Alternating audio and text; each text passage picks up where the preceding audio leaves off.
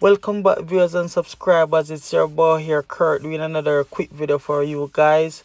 Today we're going to work on this Hino chuck basically what we're gonna do is remove the evaporator core and clean it and change the receiver dryer. If it's your first time on this channel please subscribe and hit that post notification bell so you'll never miss a video. Guys this is how the dash look when the evaporator core remove. So I'm just gonna bring you over to the core now.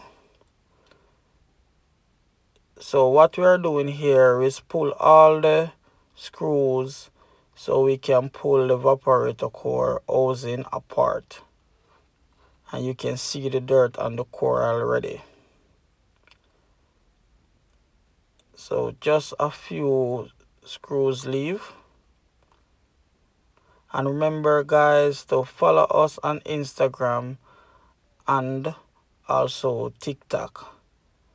And feel free to call a number on the screen if you're in jamaica and you need your auto ac to service.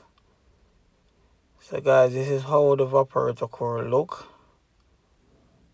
This evaporator core is in a bad condition.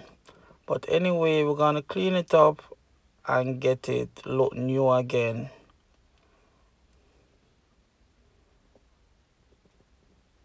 so we clean up the core and we're gonna fit it up in the housing back now.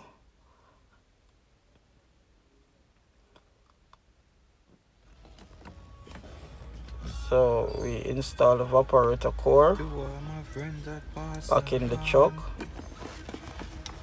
so guys we're gonna remove the receiver dryer right now. Guys this is the receiver dryer here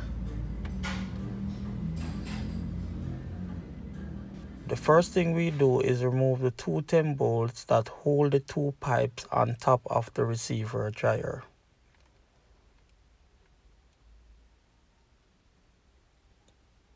We remove the old receiver dryer. It's time to install the new one